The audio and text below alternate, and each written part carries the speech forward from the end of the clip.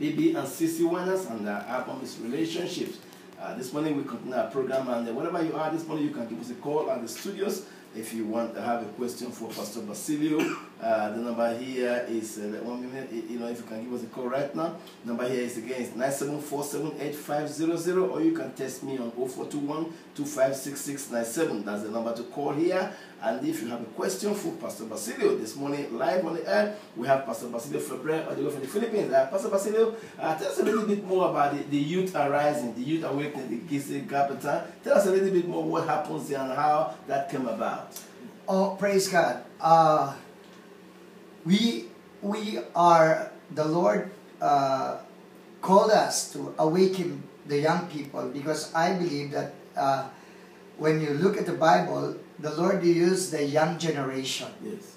So, and as of now, in the whole world, we have 70% young people. 70% in the whole world. Yes. So, uh, the Lord uh,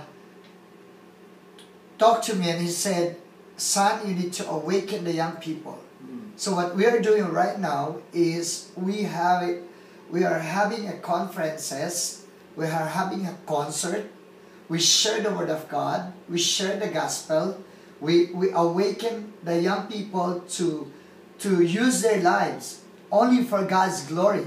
Use the talent that they have for God, use the ability that they have for God, and use everything that they have only for God's glory. Mm, amazing. So, do you have this concert uh, every month or every year? And what, what, I mean, is it just worshiping, dancing, and praising the Lord and the Word of God? Yeah. Yeah, actually, we have every year in Manila, we have a yearly big event. Yes. And then after that, we go to the countryside of Manila. Yes. Of, of, of Manila, yeah. Yeah.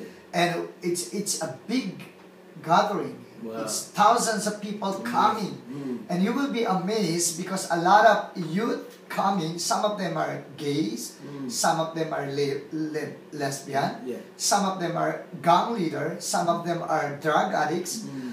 And and when they heard the word of God, when they felt the presence of God, Mm.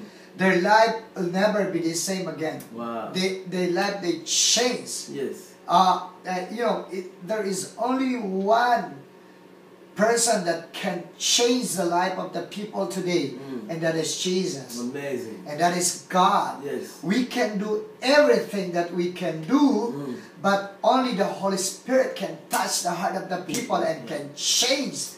The genuine change That's true. is only Jesus. Amen. Amen. Pastor Basil, looking at our young people today, the way society is, like you rightly said, and there's a lot of young people in our society today. So your God, what is the message that you really want to talk to the young people? Maybe they are listening to them in Melton or around the world and they are saying, oh, I'm, I'm tired of life. I don't have any more hope. So what message will you bring to such people today who are listening to us? Well, in Romans chapter 14, verse 8 says, For whether we live, we live unto God, and whether we die, we die unto the Lord. Whether we live therefore or die, we are for the Lord.